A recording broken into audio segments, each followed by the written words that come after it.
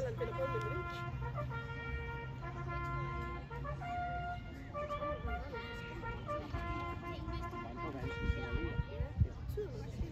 Ja, så øh, skal vi til at slutte, og svenskerne og danskerne vil lave en kanonsalut lige om et øjeblik.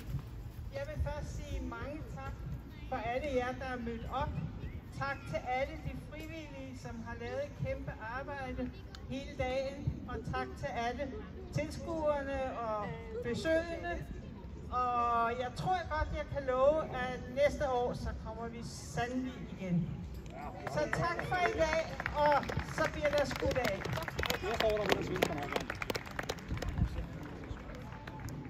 Og de skal gerne mødes på midten derinde. Det ser på mig et øjeblik.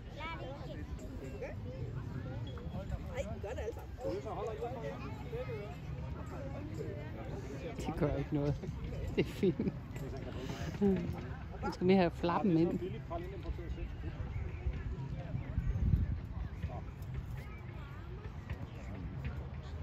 Hvordan har de vundet?